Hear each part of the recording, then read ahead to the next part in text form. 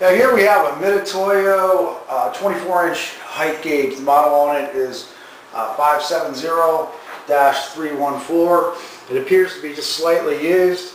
It's in real good condition, but uh, unfortunately the display, we got a little issue with it. Um, It jumps around on the end here. Now, as we move it up, There's five, six, seven, eight, nine. It does not go on to the 10. It just goes back to the zero. So on the display here, it looks like there's a one missing. As we go a little bit higher here,